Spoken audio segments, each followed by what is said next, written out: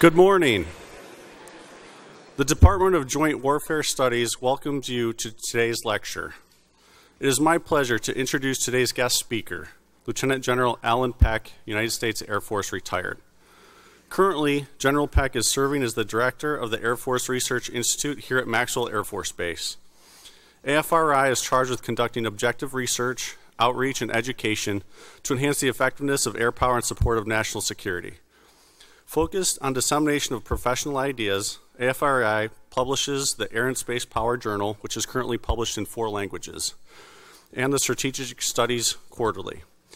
AFRI also oversees 125 officers selected to serve as Air Force fellows at leading universities, think tanks, laboratories, major defense corporations, and in key Pentagon offices.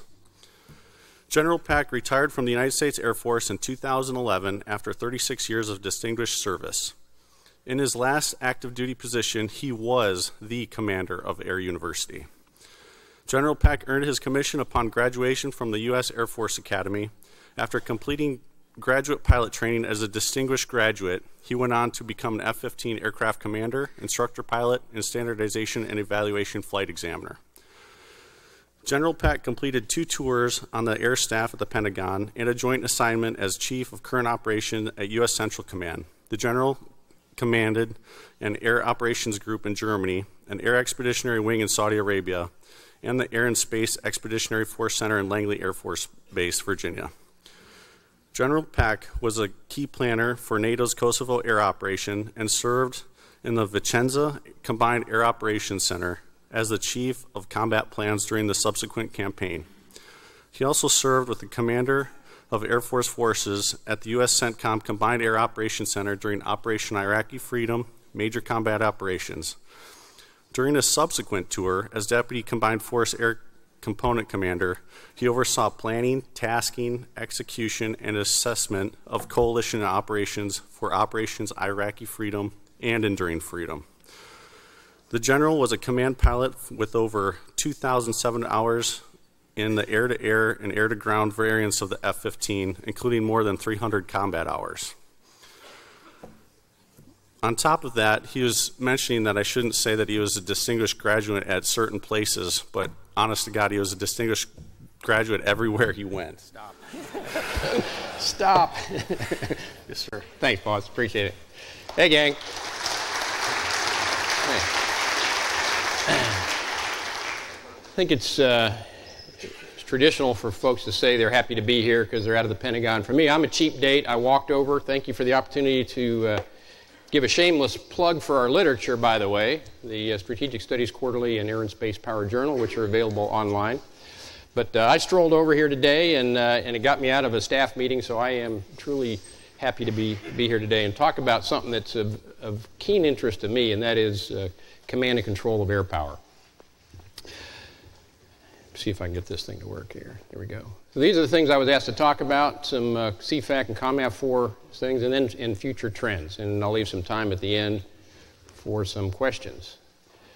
Uh, Pause was kind enough to go through some of the background. I got some tactical experience and some more strategic experience, but in the middle there is uh, some time I spent in the in Combined Air Operations Center at the operational level of war, uh, learning from some of the, the masters.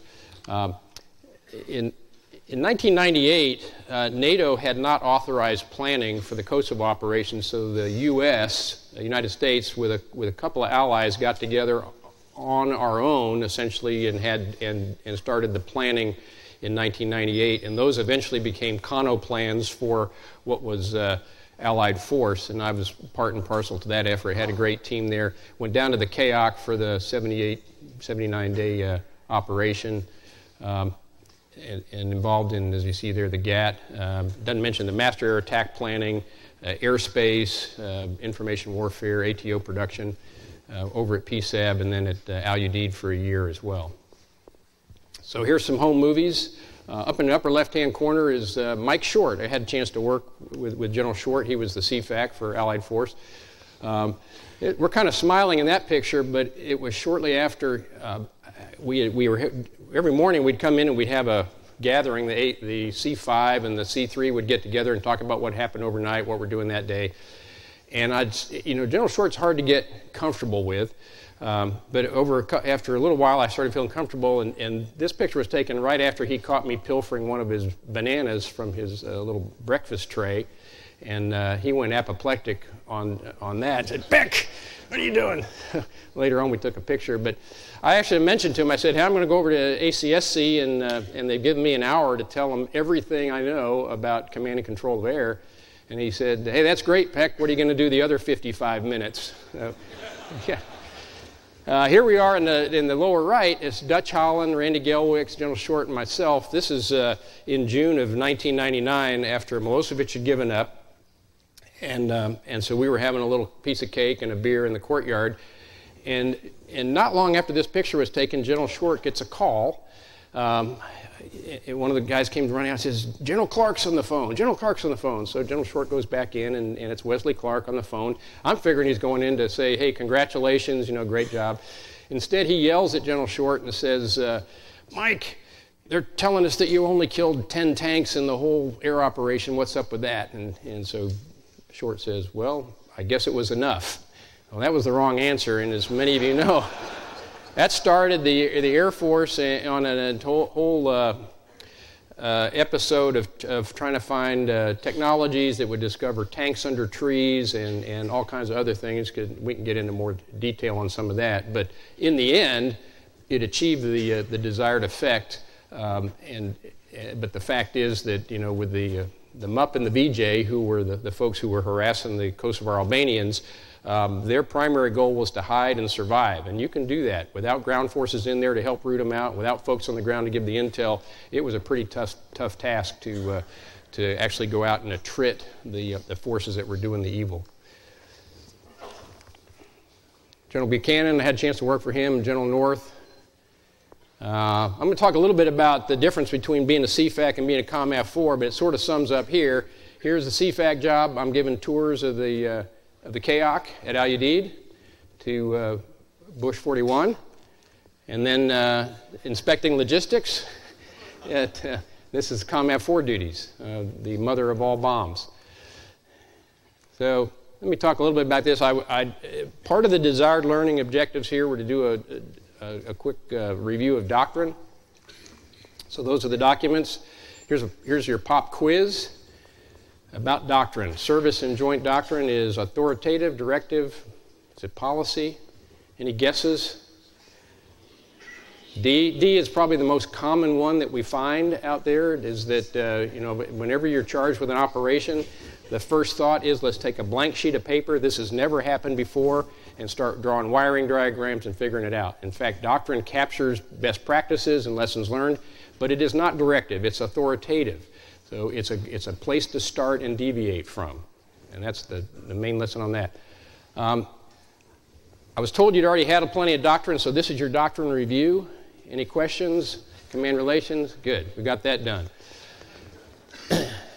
So I realize this is going to be somewhat U.S. central here, centric here, but I'm going to talk a little bit about uh, the, the relationship between a commander of Air Force forces and a Joint Force Air Component commander.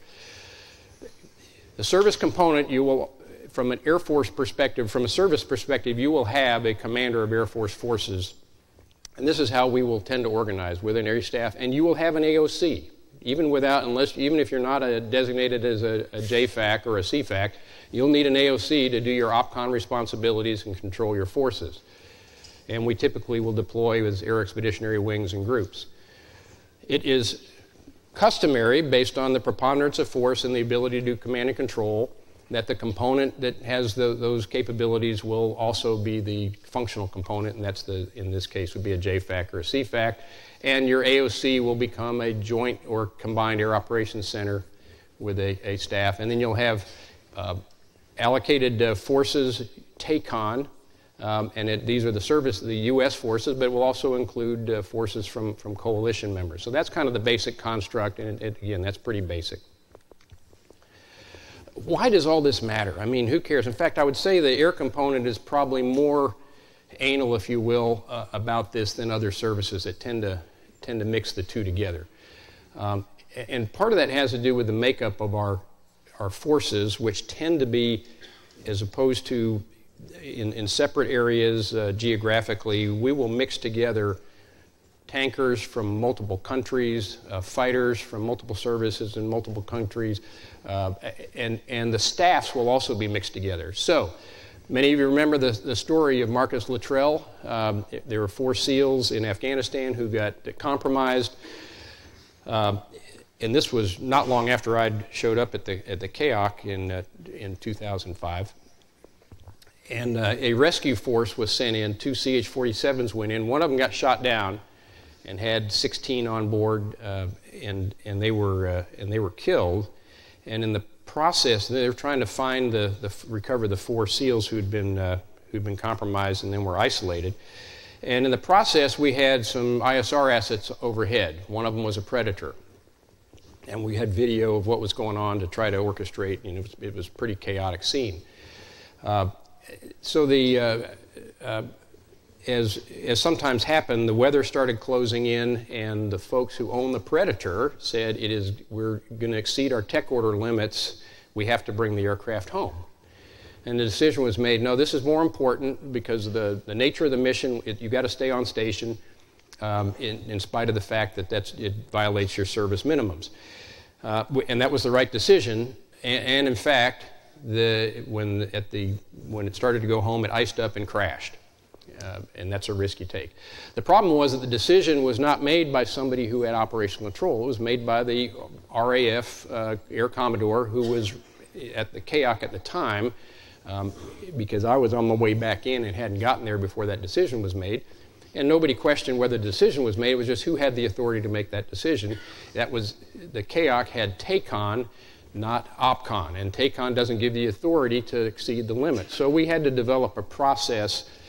And in this case, it's a predator. And there's no funerals for predators, and that's the good part of it. But, you know, if it had been an EA 6, if it had been a, uh, uh, another aircraft, a C 130, and you did that, then it becomes more problematic because you need someone with the authority and the understanding of what you're actually doing when you're violating service, service, service minimums, such as altitudes, fuel requirements, uh, crew duty days, and those kind of things. So that's why it's important that you understand the distinction. So those kind of decisions are made at the, at the right level by the right folks. And, and after that, we establish a process. Typically, the special operators would, would come in and they'd need a predator to stay on station in spite of the weather.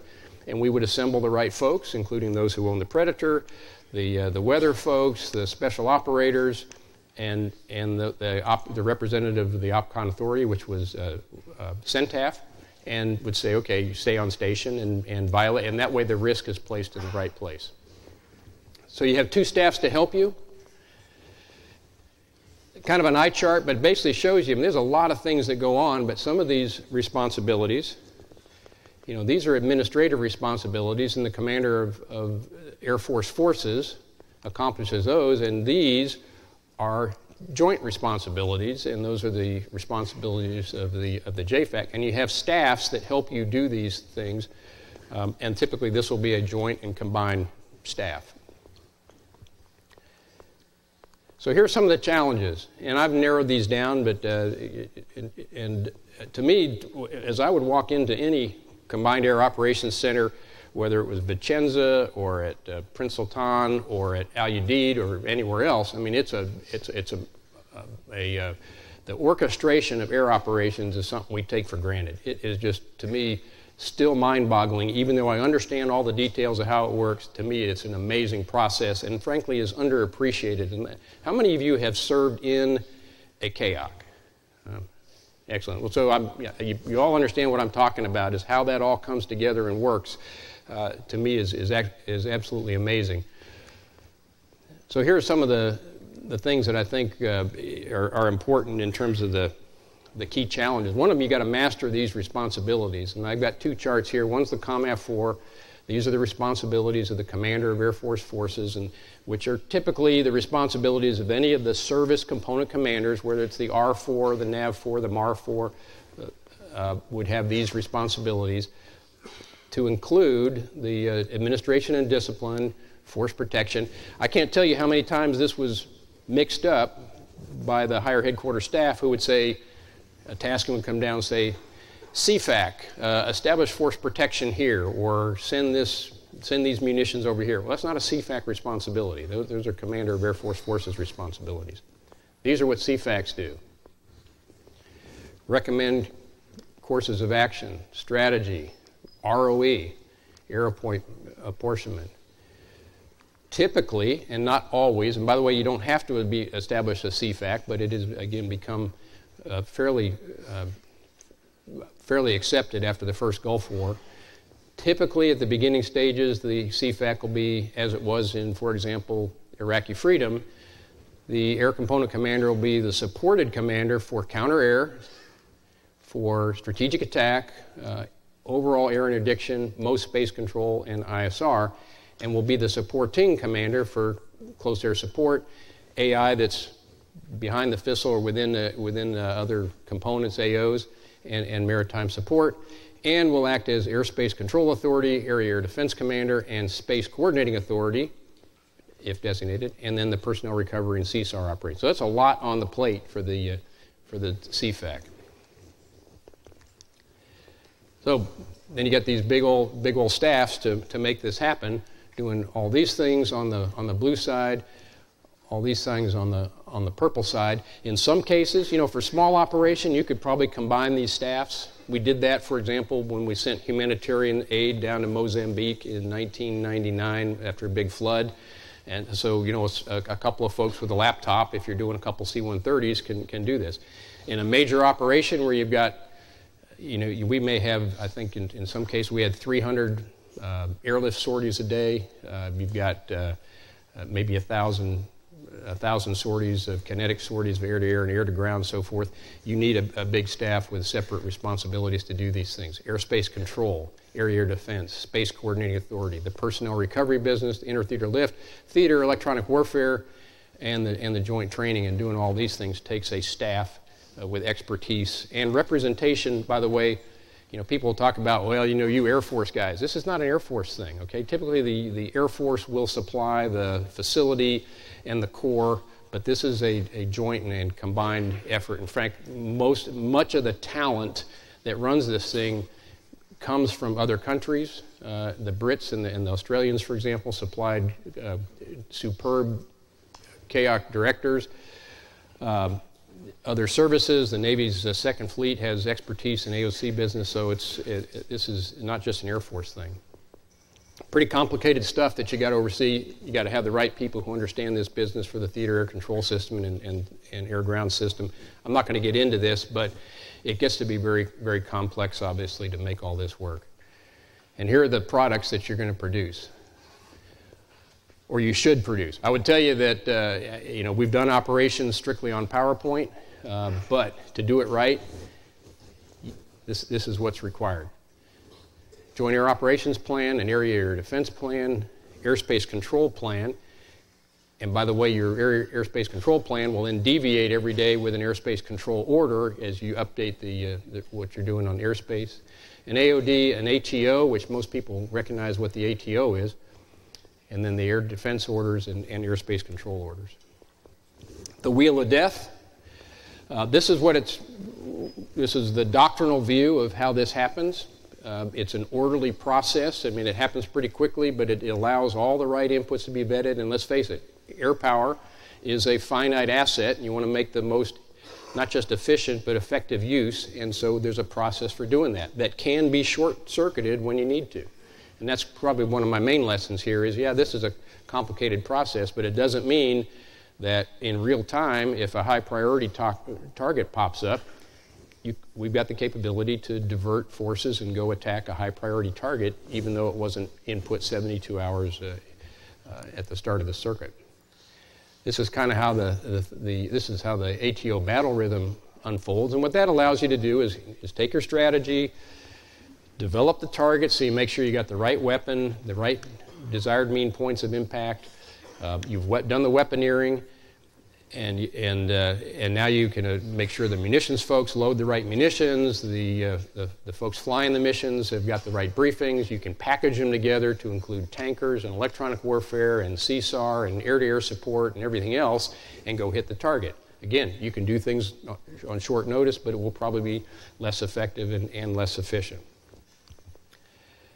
Basically, you got five ATOs in process at any time. Typically, you'll have somebody this, you know, these are vertical processes here. You've got folks that do JIPTLs, you've got folks that do the, the, uh, the MAP or the MAOP, and so forth. You also will typically designate one or two folks who carry the football for each ATO and follow it all the way through the process. But it doesn't mean it can't be short circuited. In Allied Force, for example, this would be the doctrinal flow, of, of, and, and some of these terms are a little bit outdated because this was back in 1998 and some things have changed, but you've got a flow for how these happen. Well, the senior leadership, General Clark or Admiral Ellis, had wanted to be updated and provide updates at times that may not have been completely convenient in terms of the doctrinal flow and would provide guidance. So you'd have VTCs in the middle of some, while you're in the middle of guidance, apportionment, targeting, you'd have a VTC. Or you're already developing the ATO, you'd have VTC and get some, some direction to go do something different.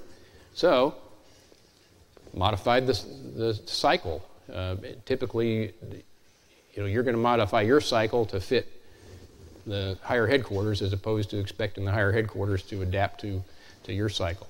And I've never been part of a, an operation where something like this didn't happen, where you took the doctrinal flow and you changed it based on the situation.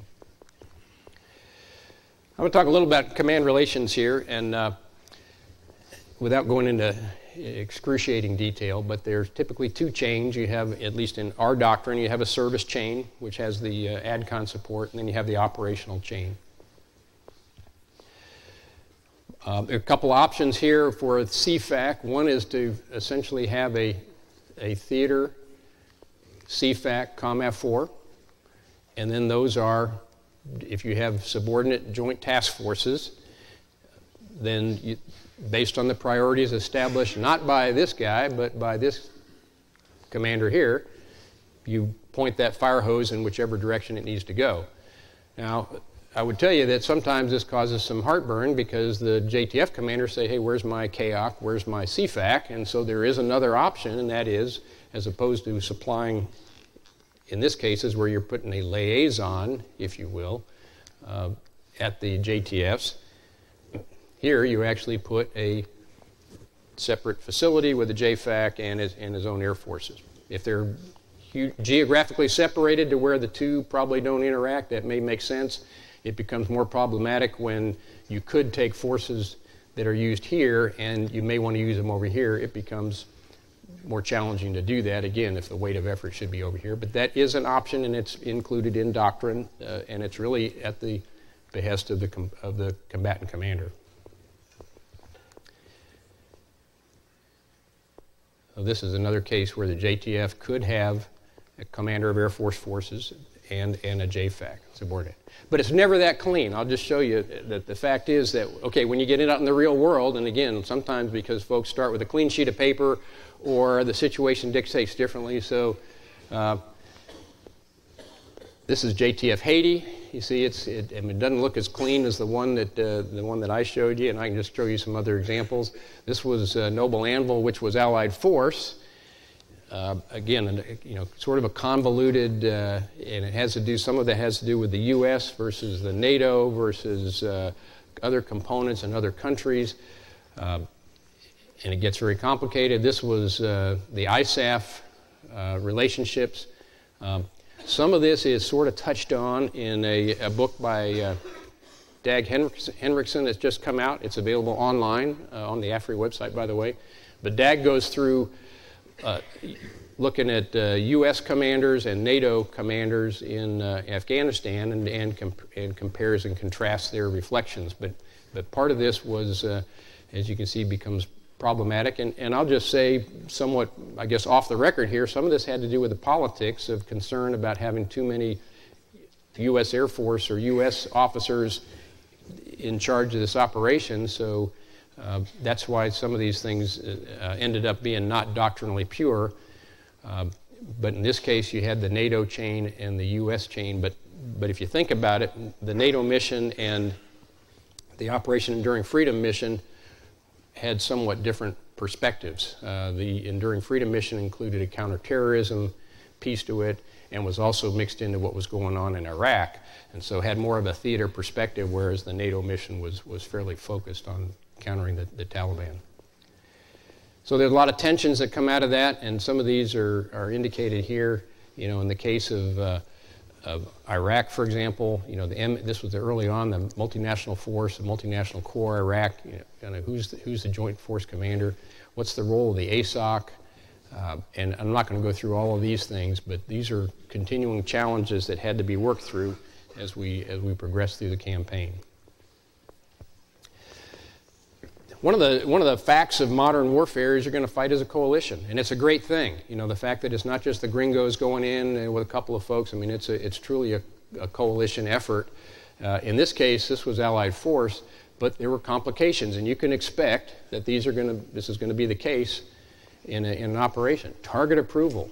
I could give you an hour long brief on the challenges of getting targets approved through four different countries and, and, and some of the complications. And we had a, we had a spreadsheet, uh, essentially, that would have different target categories in every country and which types of targets some countries would and would not hit. So, as an additional constraint, as you began the targeting, for example, uh, AM radio stations.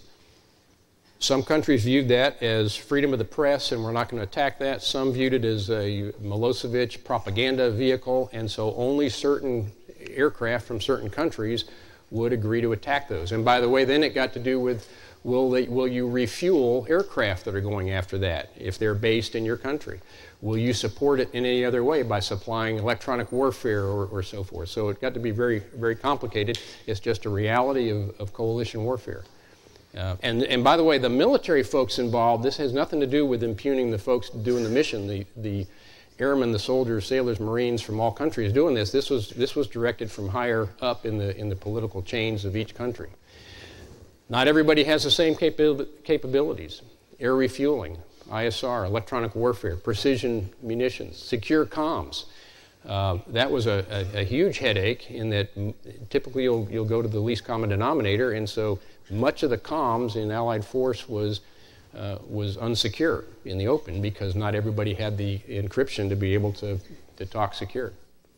Airspace control. This is a what had happened was in the initial phases of Allied force, I got to tell you, I learned more about airspace control here uh, in, in a hurry than I ever wanted to because as the forces came in and we created more and more tracks, tanker tracks and, and uh, CAS stacks and air to air areas and, and so forth, the airspace filled up. Uh, I'm curious, uh, any, of, any of you actually, did any of you fly in Allied Force? You probably know what I'm talking about, yeah. I mean, it was, a, we were having a, at least one near miss every night um, in, because it, the airspace just became more congested. So on the 1st of May of 1999, we instituted a complete change to the structure to allow uh, avenues and boulevards and, and, restructure the airspace. But I got to tell you, trying to change, make a major airspace change in the middle of a war, boy, that was a, that was a challenge. We had had to send liaisons out to every base and brief them on what was going on, uh, make sure everybody knew the, the, the, changes, and then just kind of held our breath as, as we rolled it over. But it in, improved things. If you were involved in it, presumably in May, you noticed huge changes and improvements in the safety and efficiency of airspace. But just had not, uh, had, had not anticipated that that was going to be the case. Munitions shortfalls ended up aircraft uh, countries running out of precision preferred munitions, ROE differences I talked about, all these kind of things as well. Host nations, you know, really worried. The country of Italy, you know, a great host, but they're worried about noise. They're worried about, uh, you know, if aircraft are dumping, they come back uh, and need to land and dump munitions. Where do you dump them? And some of those things are still out there in the uh, in the Adriatic. All right, let me talk a little about uh, flexibility as we get into some of the challenges. And typically, at the start of an operation, you'll you'll be rolling along, and this is kind of where the focus is on air uh, air interdiction and and defensive counter air, offensive counter air, strategic attack. But pretty much every operation that, that I've been part of, over time, you'll shift, and more and more of your effort will be supporting other, other components. Uh, we started running out of targets in Allied Force. Uh, you know, in, in uh, it wasn't too long after the start of Iraqi freedom that there were no aircraft left to fly uh, in the uh, in the Iraqi Air Force. I mean, and so the weight of effort will will naturally shift as as you go through that. And so it looks like this, and the, the, your theater air missions will shift to the support of the ground component. And this is, it's something that happens, and I think it's food for thought. Is what happens is typically we don't have a sufficient liaison or, or presence in the ground force, I would say, to anticipate this.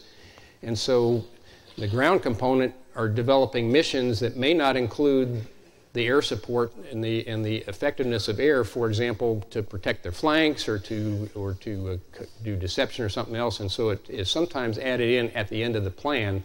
And it's something we got to think about is okay, as we move to this area, how do we provide more effective support to the ground component as the importance of the theater mission starts winding down? Uh, one of the challenges we have is, you know, we, get, we, we do operate on this centralized uh, basis, centralized control, decentralized execution. And it, and it works very, very well. And by the way, it's not centralized planning. It's, it's more than planning. It's synchronization. It's integration of, of, of the entire effort. But you need to have a backup plan. Um, and whose job is that? By the way, is that the CFAC's job to have a backup plan? No, it's a COMAFFOR responsibility to ensure that because it, typically the Air Force component, in, in this case, for example, supplied the, co- the Combined Air Operations Center and also needs to supply the, the backup capability and, and test it. So, something to think about. Um, because again, I, I think that the centralization model works pretty well when you've got that capability. Um, if, you, if you've not done so, I'd encourage you to read the, the spider and the spider and the starfish. And essentially, the, the book talks about, although it kind of wanders off course towards the end of the book, but if you think about it, the CAOC to me is kind of it's the spider model, and it does really really well. But if you smish the head of a spider, it's it's ineffective. As opposed to the starfish, you can chop off an arm and eventually it kind of grows the arm back, and it can survive, uh, you know, pretty serious uh, attacks. And, and I think what I would say as food for thought is this is our model here, but adversaries are coming to recognize that. And so we have got to evolve to a capability to be able to do uh, less, decent, less decentralized operations. And we've talked about you know, doing a distributed or adaptive control methodology but uh, otherwise, you, you find you're going to, I think you're going to be vulnerable to uh, either through kinetics or cyber having your centralized capability taken away. So we can talk more, more about that, but I think it, it's food for thought as a challenge. We've got to be prepared to operate in, a, in an area where, at least temporarily, uh, the CFAC at the headquarters is not able to communicate in real time and, and so we need folks who can operate at the operational and tactical level without continual guidance from, from on high.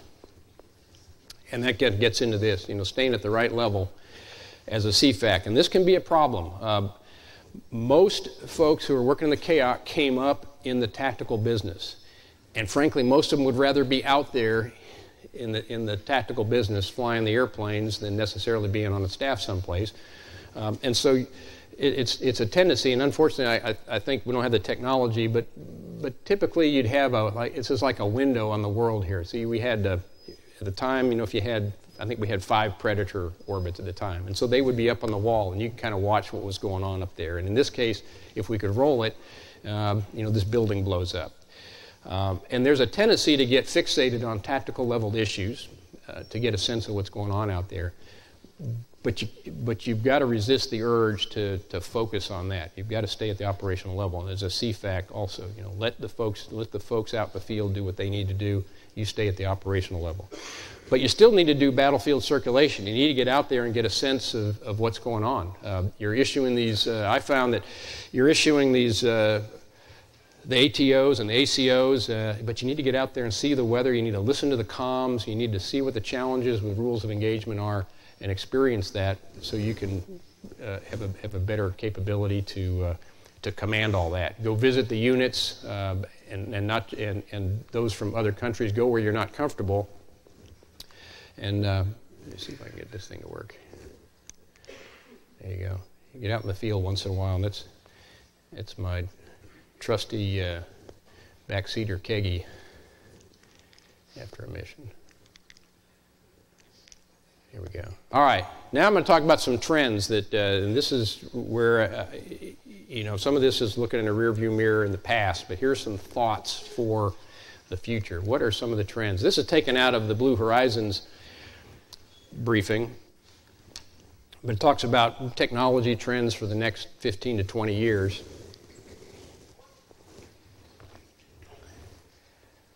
So these are some things to think about as, uh, as future CFACs are working on an operational level staff.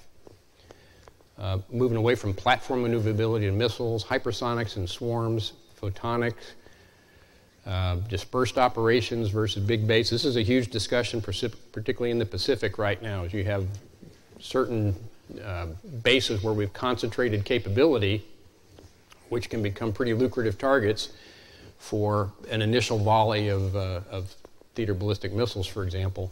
You know, how do we operate this in dispersed manner? That can be a deterrent, but it also logistically is very challenging to operate off of a, a couple hundred dispersed fields and highway strips and, and those kind of things is, is, a huge challenge. And how do you make that happen? Moving from manned to uh, remotely piloted or autonomous vehicles. Just one, I'll focus on one area, and that's the unmanned area. So we kind of think about this as an offensive capability. We think about predators and reapers, but you, you know what? Other countries are thinking about this as well, and this is something that CFACs are going to have to think about from a counter air standpoint. Uh, small, cheap, easy to obtain. Tend not to recognize the threat that these will, will pose to us in terms of uh, adversary use of unmanned systems.